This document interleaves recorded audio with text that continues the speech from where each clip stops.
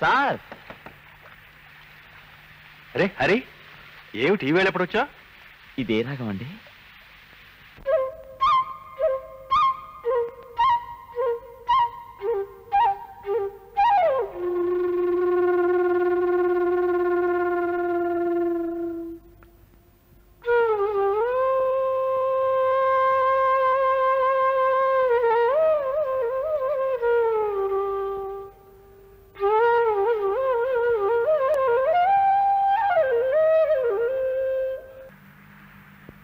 విన్నావా? నువ్విచ్చిన ప్రేరణ అతనిలో ఎంత మార్పు తీసుకొచ్చిందో ఎంత గొప్ప సంగీతాన్ని పలికిస్తోందో. డోంట్ సే దట్ నేనేం చేశాను? చూడమ్మా కళాకారుడు కావడానికి జన్మతః ప్రాప్తం అనేది ఒకటి ఉండాలి. నిద్రాణమై ఉన్న ఆ కళను వెలికి తీసుకురావడానికి ఎవరో దోహదం చేయాలి. ఇవాళ నువ్వు చేస్తున్న పని అదే. భలే వరే నేనేమైనా సంగీతం నేర్పానా? సరిగమ్మలు చెప్పానా? అవి నేర్చుకున్న వాడికి శాస్త్రం క్షుణ్ణంగా తెలియవచ్చు గొప్ప విద్వాంసుడు కావచ్చు. కానీ ఒక అనుభూతితో స్పందించిన మనస్సులోంచి తనకి తానుగా ఉప్పొంగిన కళ జీవకళ. ఆ అనుభూతులను విస్తున్నావు అతనిలో ఉన్న కళకి జీవం పోస్తున్నావు. అందులో అతను తరించగలిగితే గొప్ప కళా తపస్వి అవుతాడు.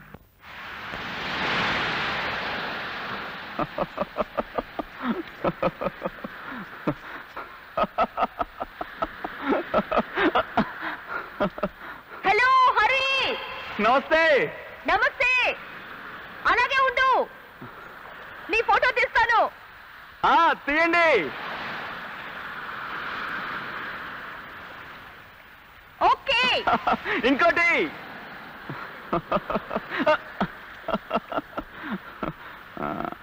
ఇప్పుడు తీయండి.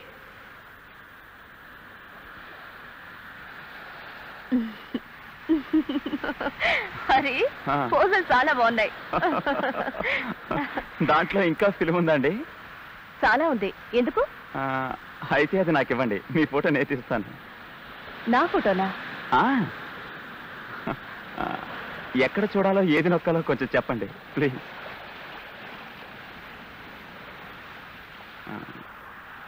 ఇక్కడ చూడాలి. ఇది నొక్కాలి.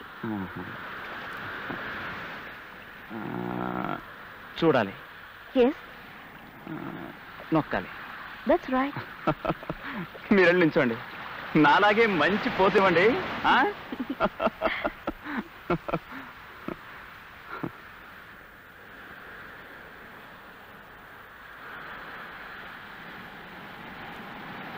ఏమండి?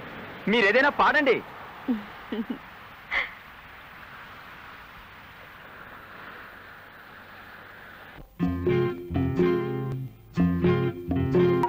నిజంగా ఆ జ్యోతిర్మయి అన్నయ్యని ఎంతగా మార్చేసిందో చెప్పలేమండి. అన్నయ్యలో ఏదో ఋషిలాగా ఒక తేజస్ వచ్చేసిందండి. పాడినా వాయించినా దేవతలు పూలవర్షం కురిపిస్తున్నారా అనిపించేది. రేణు అని చెప్పలా? వెన్నెల్లో బృందావనం చూడాలని గొడవ పెట్టిందని వాళ్ళ తాతగారి చేతే మొదటి రికార్డు ఇప్పించింది. ఆ తర్వాత జ్యోతి కనిపించలేదు. ఎక్కడో అమెరికాలోనో ఇంగ్లాండ్లోనో ఉద్యోగం వచ్చింది వెళ్ళిపోయిందన్నారు. ఆంటీ అన్నయ్య ఇంకో పది రోజులు ఇక్కడే ఉంటాడు. కొత్త రికార్డ్ కోసం మ్యూజిక్ కంపోజ్ చేసుకుంటాట. అందుకని హోటల్కి మారిపోతామే. నువ్వేమీ అనుకోవుగా? మమ్మల్ని గుర్తు పెట్టుకుని ఇంత దూరం పెళ్ళికి వచ్చి మా ఇంట్లో రెండు రోజులు ఉన్నారు. అదే సంతోషం. వస్తానంటీ అలాగే. వస్తానండి. మంచిది. విన్నావుగా బాబు అతను కథ. మరి అతను ఆ జ్యోతి గురించి ఏం ఊహించుకుంటున్నాడో ఎలాంటి కలలు కంటున్నాడో అతనికే తెలియాలి.